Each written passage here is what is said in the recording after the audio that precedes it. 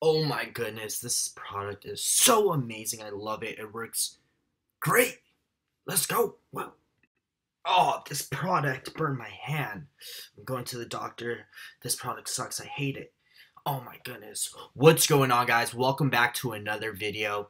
And in this video, I will be discussing whether or not you need product liability insurance and general insurance for your Amazon business. So stay tuned.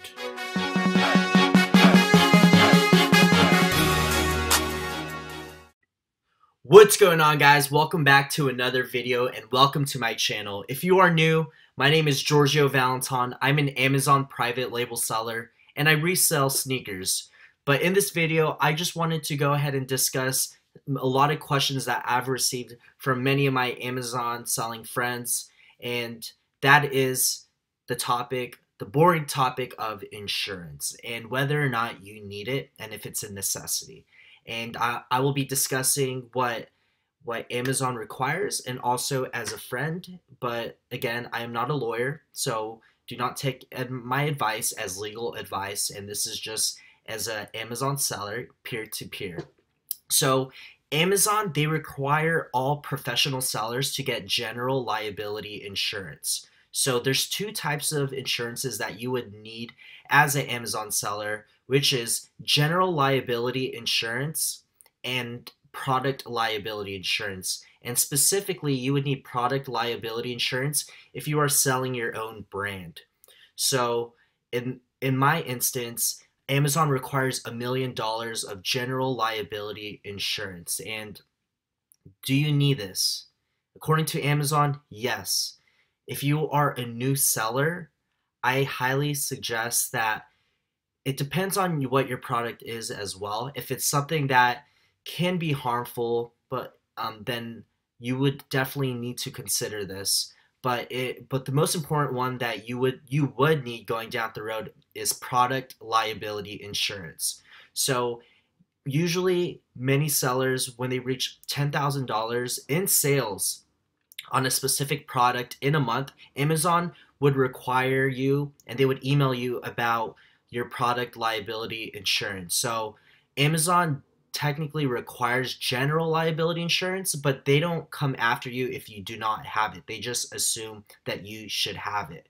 And what product liability insurance, the important thing about this is that since you're getting your product sourced from wherever, if it's not from the United States, you will become the manufacturer. So what that means is if anything happens, you are fully responsible for that product. And just kind of going into um, just going back from a peer to peer, if you are a new seller, it, it can be costly, but if you want to take your Amazon business to the next level and kind of being serious about it, um, you can you you cannot really need it immediately, but it's something that you would definitely need down the road, especially if you're getting more sales. And how they calculate your product liability insurance is is that it what they do is when you call the insurance companies, they first they find kind of find who would underwrite this and what they would do is they base it off the number of sales that you have and kind of depending what your product and what category is it.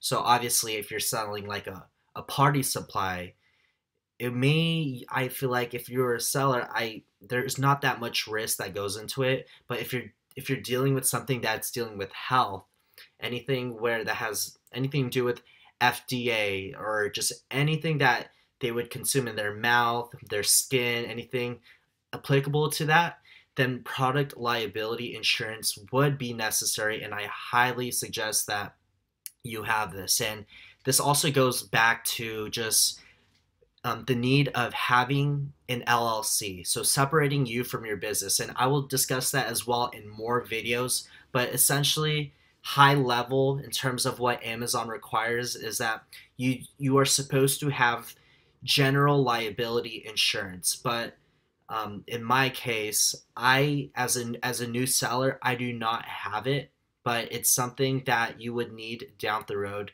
for whatever may happen. So as a new seller, this could be pretty costly, you know, and that that amount of money could go into your products, and you don't want to get product liability insurance, especially if you ha- haven't fully launched your product and you don't know if it sells yet. You know, you know what I mean? You don't want to get insurance beforehand on a product and let's just say it's not a good product and you don't you don't decide to ever sell it again. So it's like you got liability insurance on your product but it's not like you need it because it doesn't sell well. But I, I'm, I'm a firm believer if your product sells well then you should definitely consider that because you never know what what can happen and especially in this world people can make claims all the time. So i hope that video was very informative and if you have any questions please leave a like a comment and once again i am not a lawyer so do not take this as legal advice this is just from educational stuff that i've heard from other amazon sellers and from my experience as well so please subscribe leave a like and comment as well. Thank you again for watching this video. And if you haven't gotten started yet, get started now.